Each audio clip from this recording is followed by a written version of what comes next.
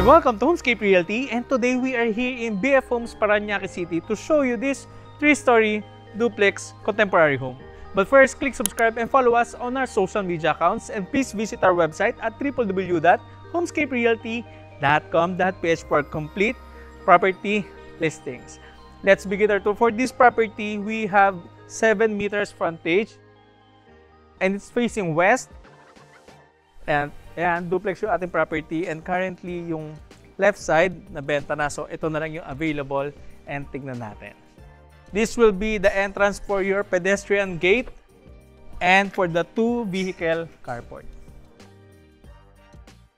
And as we enter dito sa ating driveway or slash entrance gate, we have a gravel flooring para non-skid sa inyong mga sasakyan. We also have a ceiling here, partially covered yung ating two vehicle carport, pero you still have the option na i-fully covered dito by an acrylic or polycarbonate para mas maganda, no? We have this main entrance para sa ating property. Pero bago yan, tignan muna natin yung paligid. So this is a duplex home. Ibig sabihin, single attached yung ating layout for this property. Ito lang yung ating open space. Ito yung meron tayong setback from the perimeter. For this door, ito yung inyong staff quarters. The toilet and bath for our staff. And ito yung kanilang staff room. You also have this transom window for additional ventilation and syempre natural light dito sa room na ito.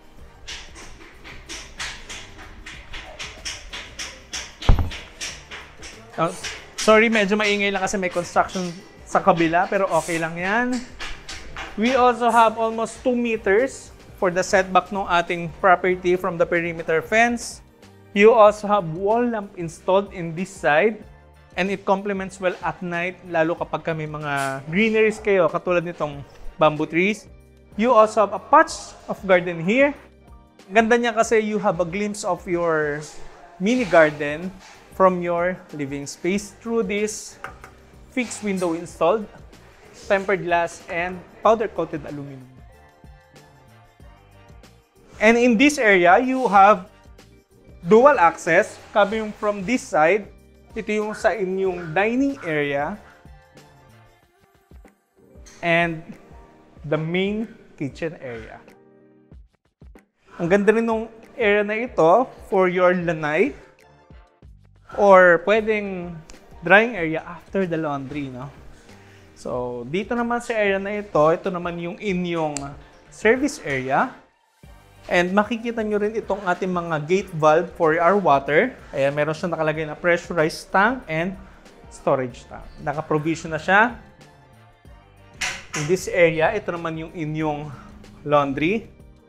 You have this socket for the dryer and your washing machine, you also have this water supply and water inlet for your washing machine.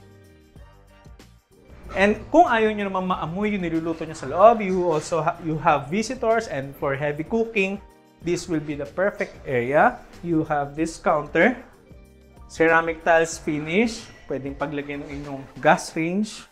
You also have cabinets in this area, additional storage space for your kitchenwares,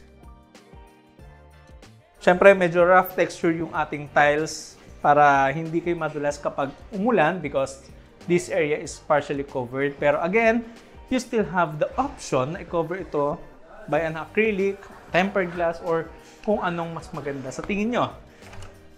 You also have this access papunta dito sa inyong main kitchen. Pero mamaya na natin yung tignan. Balik tayo dun sa harapan. Alam nyo, ang ganda nung natural light and syempre yung cross ventilation sa buong ground level nitong property para siyang hindi duplex because of this opening ganun din in this area. Okay, so balik tayo dun sa harapan. And yan, nandito na ulit tayo sa inyong two vehicle carport. At ito yung inyong porch. You have two steps up para dito sa inyong main door. For our main door, the material used, solid wood, solid tangile wood, and this deadbolt for the doorknob itong property. Pasok tayo, and welcome to your home. Okay, kung mapapansin nyo to, we have this massive main door and napakagaang gamitin because of this hinge or itong ating, yung hinge na tinatawag na yan is pivot hinge. Ginagamit siya kapag malalaki yung door. Because syempre, kadalasan pag malaking pintuan from your main entrance, napaka-elegant agad nung inyong vibe upon entering the property. Okay. Few steps, this will be your whole ground floor. And makikita nyo, we have an open layout design. This will be the living, the dining, and the kitchen area. Ganda, no? For the, for the flooring, we have this granite tiles with marble grain design, high gloss finish. Kaya makikita mo, very consistent in design, at hindi lang yan lalong lumalaki yung ating space because of the yung kulay ng ating buong ground floor which is neutral colors lang. Okay? We also have a provision for a hanging lights dito sa inyong living area. Palit tayo ng pwesto, Raymart, para makita nila yung magiging living space. Okay, so ayan, di ba? So this will be the area for your living space. You also have cabinets in this area sa ilalim ng inyong washing machine. I, no, I mean, I mean your stairs para walang dead space. So nandito yung inyong circuit breaker. Okay? At mapapansin nyo, katulad ng sinabi ko kanina, ang ganda ng airflow in this area at syempre yung natural light din because of this massive window and sliding door on the right side of the property. Ganda, no?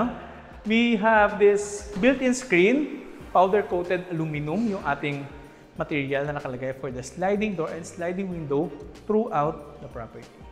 Raymart, balik ka dun sa living space. So this will be your dining area.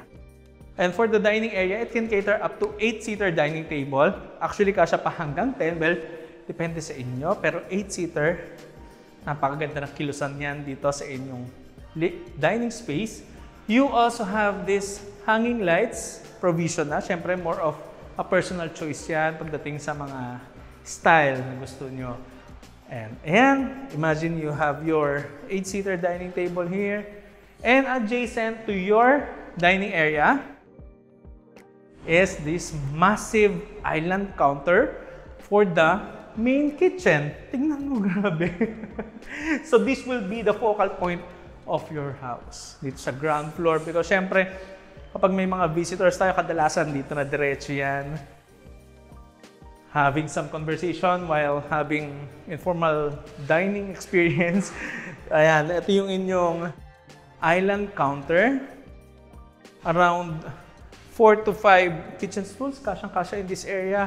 For this island counter, we have granite finish grayscale yung kanyang color with marble grain design and a waterfall design para sa inyong island counter.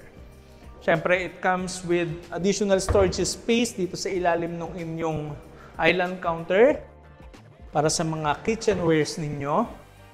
You also have this dual sink.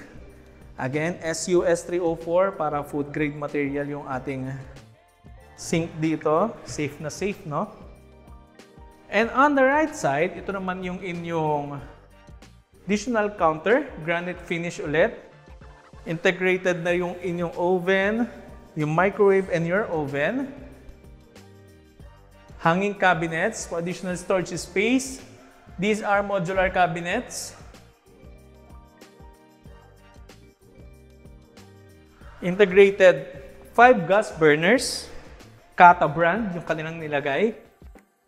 At ganun din dito sa ating range hood, the space for your two-door refrigerator. Raymart, pwede tayo lumapit. So, lots of storage space in this area. These are modular cabinets. Napaka-presentable tignan, no? And in this area, ito naman yung kaninang pinanggalingan natin. The area for your service area, you also have this sliding window para mag magtuloy yung airflow or yung cross ventilation.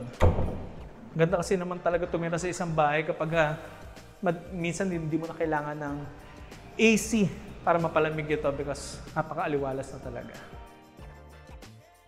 So we're done here sa buong ground floor. Akyat naman tayo sa itaas. Pero bago yan, tingnan muna natin itong powder room nyo. Located under the stairs, we have these three steps down papunta dito sa inyong powder room. Tignan natin. For the water closet, we have this cool brand. Ayan, ganda rin ng design ng cool brand nila ng water closet. Malaki siyang tignan. Ganon din dito sa ating sink. At syempre meron tayo ditong vanity cabinet under the sink for your toiletries. Okay. So, akyat tayo sa taas. For the stairs, we have these dual handrails. Solid wood material with metal balustrades. And for the staircase, we have this solid wood material. Again, tangile wood. And medyo maliwanag in this area because of this transom window. Kitang-kita yung sinag ng araw in this area at 1 o'clock in the afternoon. Akit tayo dito sa second floor. Dito sa second floor, we have two bedrooms with ensuite toilet and bath each. Unahin na natin ito. By the way, for the flooring, mapapansin nyo nag-iba na siya. Coming from granite tiles, meron na tayo dito laminated wood with wood grain design. So, for the bedroom 1, located dito sa facade ditong property. Lots of windows. Ayan. Lots of natural light, syempre. The material used, powder-coated aluminum with built-in screen. We also have provision for the split-type aircon, a hanging lights, and a smoke alarm detector. Pin lights installed for the ceiling for the lights. At ito naman yung inyong toilet and bath. We have this sink with cabinet, your water closet, cool brand with bidet at itong inyong shower area. Stainless satin finish para dito sa ating shower fixture. And by the way, we have this floor-to-ceiling modular cabinets with soft close hinges. This area, pwede nyo itong gamitin as your office or pwedeng online school area. Pwede kayong maglagay dito ng console table. You have electric sockets here and a provision for a CCTV camera. Ganda rin itong area na ito, no? You also have this window dito sa inyong hallway or sa area for your console table. And this will be your master bedroom. Laki, no? Okay, on this side, ito yung inyong massive window, fixed window and sliding window on both sides. Lots of natural light in this area. You also have a cove lighting in this area. Ayan. So this will be the location of your king size bed in this area. Ayan. And on this side, magkakaroon pa kayo ng anteroom. Okay? So pwede kayo dito maglagay ng television set. Ito yung para sa CCTV cameras nyo. Ayan, luwag pa, no? Lots of space. At syempre, we also have this smoke detector. Ayan. And a provision for a hanging lights. And syempre, ito naman yung inyong master bathroom. In this area, ito yung inyong bathtub with accent wall, wood plastic composite or WPC. Ganda rin ng kanilang shower fixture o yung inyong fixture para din sa inyong bathtub. Siyempre, meron na rin itong provision for a multi-point heater. Ayan, nasa ilalim. Ganda rin ng fixture para sa inyong sink. Huge vanity mirror. Okay, hindi siya nabubuksan. At naka-conceal naman itong inyong water closet with bidet. And syempre may mga windows tayo, transom windows for for the moisture and syempre natural light dito sa inyong bathroom. And this area, ito naman yung inyong modular cabinets for your walk-in closet. Lots of storage space. Okay, for the husband and wife. Drawers and shelves. And for the door, meron tayo ditong frosted glass for the privacy in this area.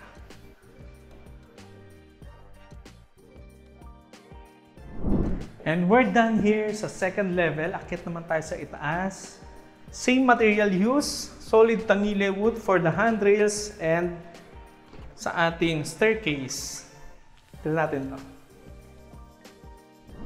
Okay, dito naman sa third level, we still have the wood laminated flooring.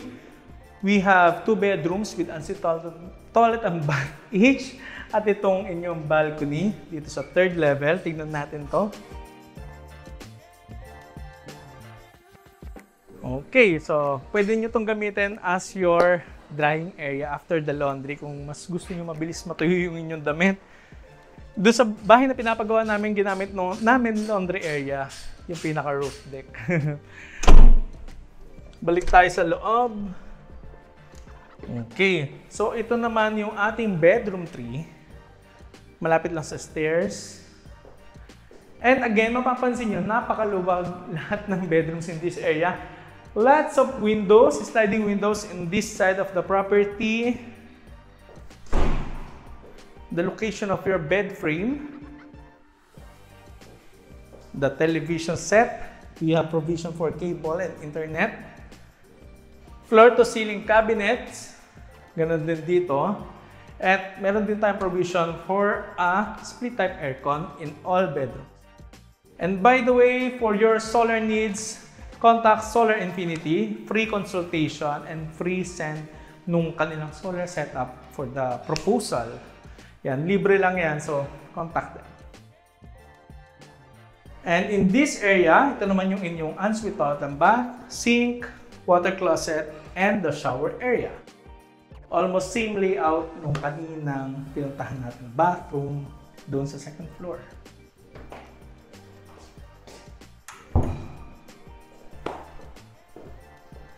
Okay, so for the last bedroom, dito sa dulo ng hallway.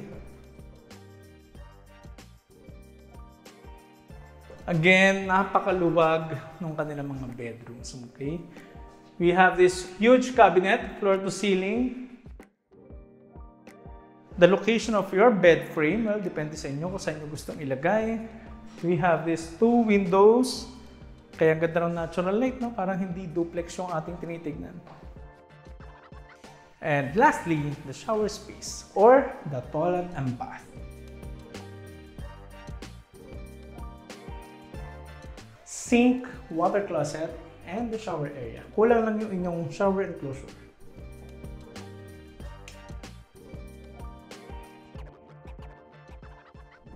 And that concludes our house tour for today of this brand new modern contemporary home located here in BF Homes, Paranaque City.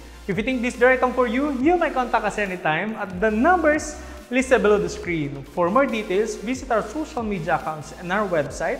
Again, my name is Dino of Homescape Realty, your guide to your real estate needs. Thank you and see you next week.